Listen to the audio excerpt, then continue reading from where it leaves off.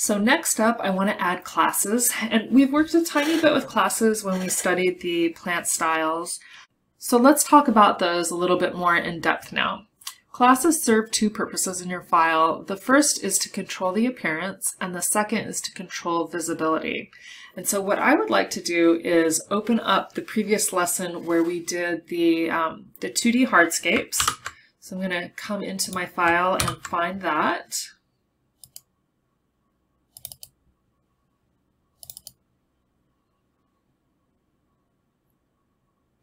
And then once in here, I'm going to pick one instance for each different material and create a class out of that. And so I think that for the for brick, I'm going to go ahead and pick this hatch. And so I need to know what, what hatch I'm working with. And it is the red brick hatch right here. Classes can be created the exact same way that design layers or sheet layers are created. I can either go into the organization dialog box or I can simply come over here to the navigation palette, right click, and then click new. And for me, um, personally, I like to keep all of my materials together. So for the name, I always call it material dash, and then this will be brick. And then make sure that down here at the bottom, we have edit properties after creation selected. Click OK.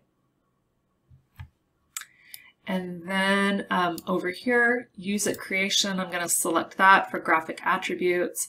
Under fill for style, I'm going to pick hatch. Then I'm going to click on a specific hatch. And in this case, I know it's this red brick UK stretcher bond. So I'll double click on that. Then my pen, I'll go ahead and leave that as a solid black with a thin line. Then the next step that I need to take is come over here to the textures pane and here I can go ahead and add a brick texture to the file. So I'm going to need to do that in a couple different places. The first is right here under Objects and Component Textures. So I'll click on that and I'll go ahead and just pick this brick. And then um, walls work based on different textures than say a flat object like a hardscape. And so I'm going to need to come down here under the wall textures and assign that same 3D texture to the left part of the wall, as well as the center part and the right side of the wall. So there we go. And then I'll click OK, and I have my first material class that I've created right here. So let's walk through that one more time. This time we'll do it for the mortared stone. So I'm going to go ahead and right click, new. And then here I'm going to call this material um, mortared stone. Once again, the Edit Properties After Creation box has been selected. I'll click OK. And now in here, I'm going to check Use at Creation. For fill, I'm going to find that specific tile. And then I'm going to leave the pen as is. For the texture, I'm going to do the same thing, come over here, and for texture, Let's see what we have for stone. And I'm not aware of anything that's going to be the perfect mortared stone. So I'm going to go ahead and just pick something that's simple and gray.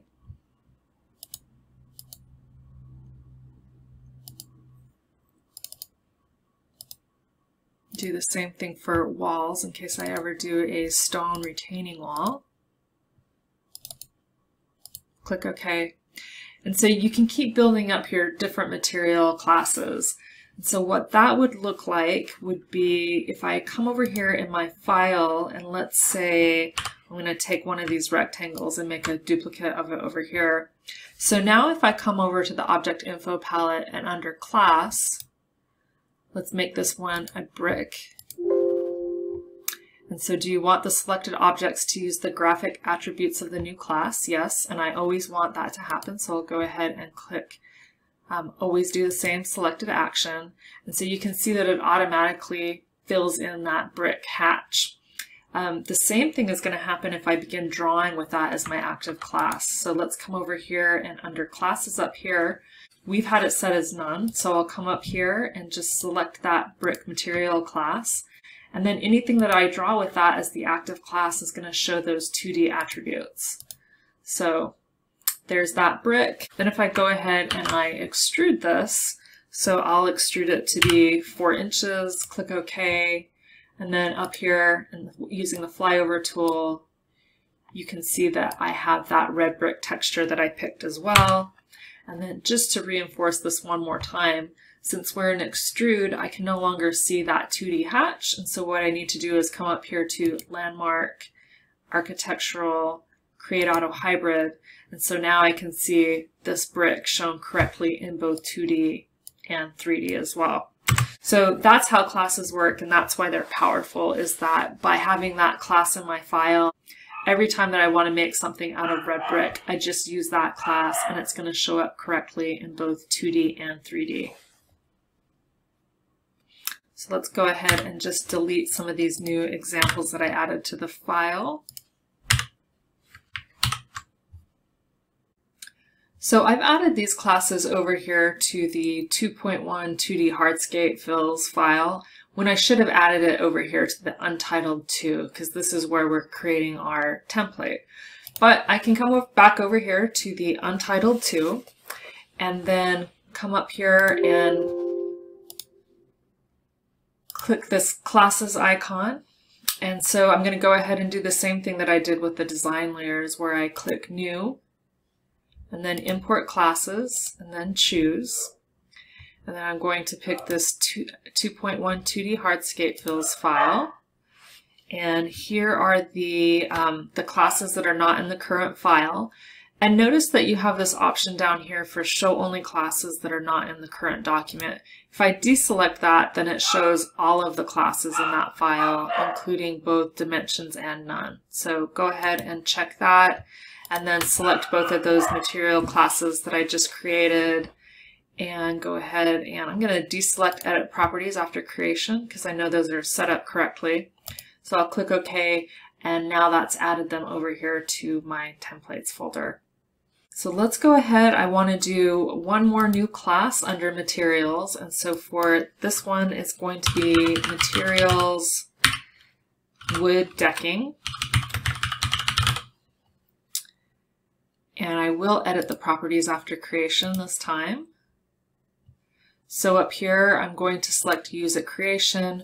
For the fill, I'm going to use a tile, and then in this drop-down menu, I can come up to open files, and where I see that 2.1 2D hardscapes fill, I can just come and select, I can select the decking tile. So I'll click select there, click OK, and then I made a mistake in how I labeled these. So the original materials that I added to the file, it says material dash brick. And on this wood decking, I did materials dash wood decking. And so I need to pick whether or not I want that to be singular or plural. I think I'll come over here and just edit the wood decking. So I will delete the S, click OK, and now they all belong under the same subgroup right there. I also want to add some of the classes from the plant style lesson. So I'm going to come back up here to the classes organization dialog box and go through that same process. So it's new, import classes, and in this case, I know that what I'm looking for is here under the plant list. And then I'd like to include these line weight classes that I created as well as the plants component tags.